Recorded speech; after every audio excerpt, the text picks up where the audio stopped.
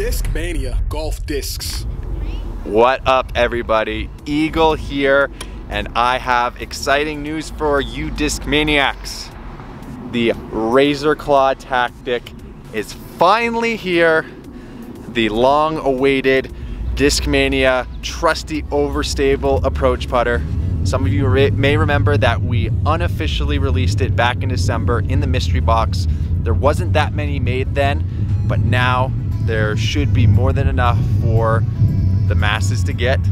And let me tell you, this disc is amazing.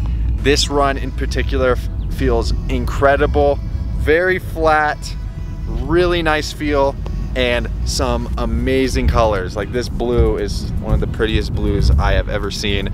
Definitely going in the bag. Uh, really pumped on this disc.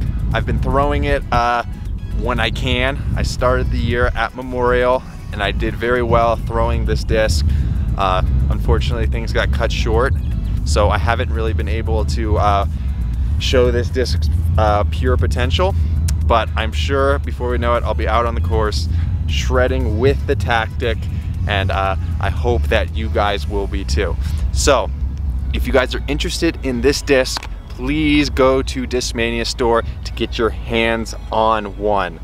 This thing is fantastic, absolutely love it. It does what you want, gets to the ground, great for forehands, fan grips, or even power grips for some people. Very trusty and overstable, less glide and more accuracy. And that brings me to say thank you to all the disc maniacs out there who have supported me, supported Simon, supported Nate Perkins, all of the people on the team.